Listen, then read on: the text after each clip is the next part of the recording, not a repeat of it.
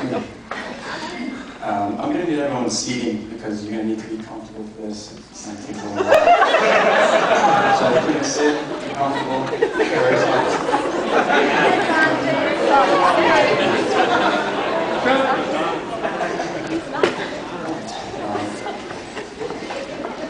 He's not kidding. Hey, cell phones ringing right now. Summer. It's a One nothing, top seven. One in top seven.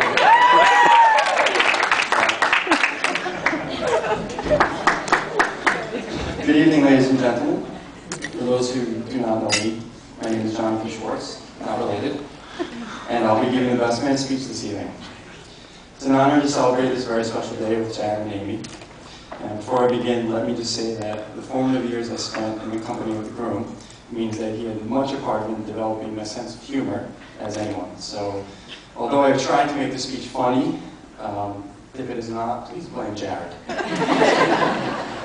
First off, uh, I'd like to congratulate Jared and Amy on their marriage and the beautiful ceremony that took place just a little while ago.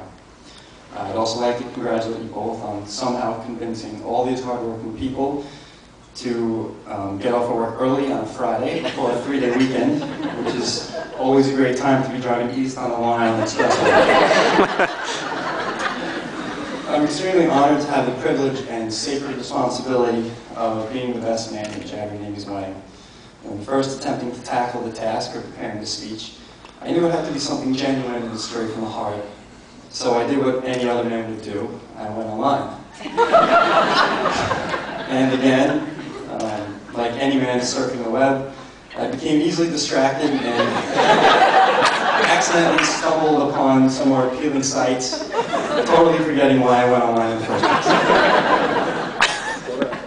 I'm sure that thinks I've been up all night, worried sick, and nervous about speaking in front of such a big crowd. However, being an elementary school teacher, I've learned great ways to handle being nervous when teaching an important lesson or just speaking in front of a large group. And I think if I use the same relaxation tactics here tonight, I should be just fine. So if you just give me one second.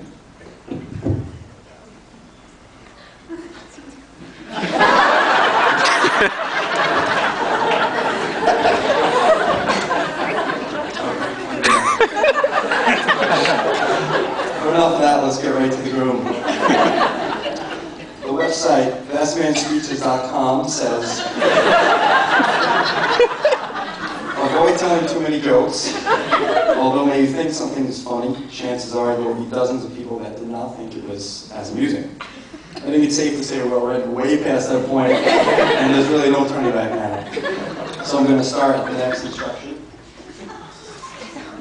which is to tell everyone how long I've known the groom for and some of the good and bad times we've had through the years. So I've known Jared for about 20 years now, and we've shared so many important, life-changing, and meaningful experiences together. I will not be talking about any of these. uh,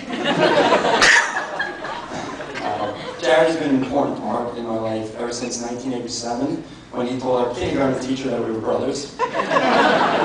our parents have also been good friends, and in fact our siblings, Brian and Jessica, once dated for five whole days.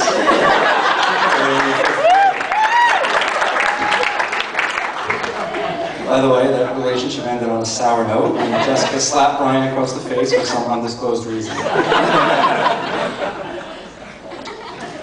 memory that I specifically recall is visiting Jared's family during their famous Christmas Eve parties. Uh, it was during occasions like these that some of my most fondest and life-changing events took place.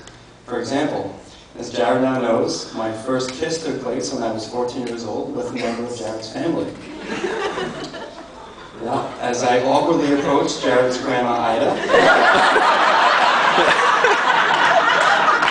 we, we both moved in for a normal hello kiss, and wound up getting my first ever kiss on the restaurant. A girl on Social Security. So for that, I thank Jared for being so understanding, and also Grandma Ida for being so gentle.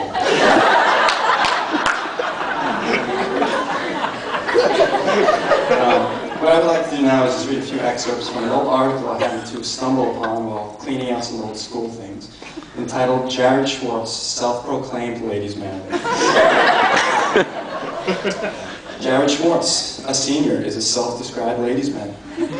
With a confident stride and an easygoing manner, Schwartz comes off as the kind of person who doesn't let himself take anything too seriously. Schwartz especially enjoys school for two reasons. Kevin Scanlon's Holocaust class, and, quote, looking at all the hot girls in school. he enjoys listening to bands such as Rage Against the Machine, Limp Bizkit, and Blink-182. His favorite lunch spots include Wendy's, McDonald's, and Marquez Deli. His favorite drink is Red Powerade. he eats his cookies in multiples of three. He also prefers dressing in khakis and sweaters more than anything else. For his last semester of senior year, Schwartz states, I'll have three periods free. I want to go out and eat and not work because I'm lazy. so Amy, aside from Jared being the subject of a great human interest piece, you can see from an early age the kind of hardworking husband and provider for your children that you have to look forward to. But as all his friends know, Jared was more than just your average student through high school. He was always a little too concerned with his appearance, always taunting me with his hundred pairs of jeans and sweater vests he so proudly owned. It was many a time during our high school math class that our teacher, Mr. Tatone, would walk into the class just as the bell rang, surprised to see most of the class sitting patiently, yet only to find Jared standing up in front of the closet mirror, checking his hair arrangement, new acne sightings, or straightening the long, thick black unibrow that's spanned across his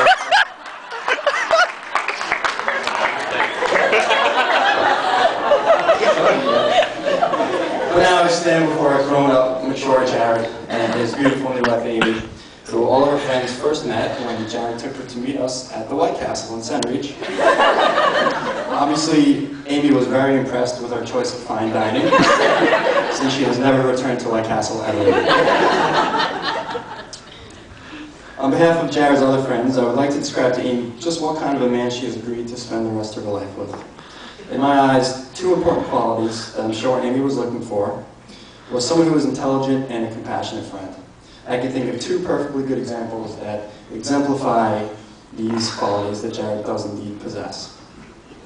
I remember a crisp fall evening when Jared became bored and came up with a bright idea to sneak up to our friend Teresa's house at night and quietly cover her entire car in tea bags as a joke, only to wake up and discover that the, it had rained later at night, and the tea bags had made long brown streaks across Teresa's plain white car.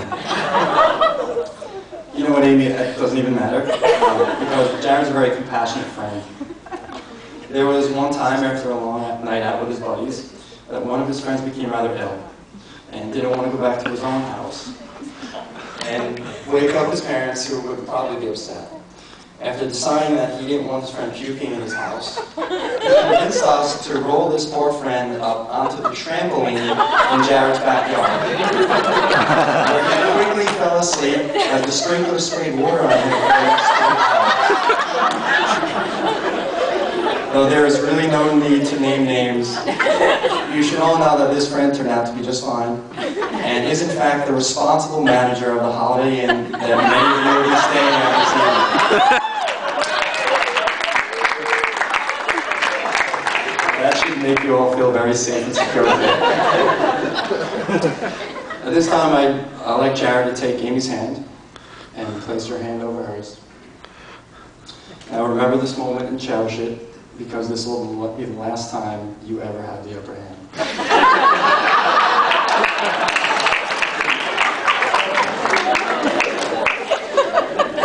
But all jokes aside, I want to conclude by saying that I couldn't be any happier for you both than I am today. And I just want to express how great it is that Jared has found someone that can make him as happy and complete as Amy does. Um, Jared, you've been a best friend and a brother to me for so long now, and I couldn't imagine myself, your parents, and all of your other family and friends being more proud of you than we are today. Also, I'd like to officially welcome Amy to the Schwartz family. and uh, I love you both very much, and couldn't imagine my life without the two of you. So if you could all now rise and raise your glasses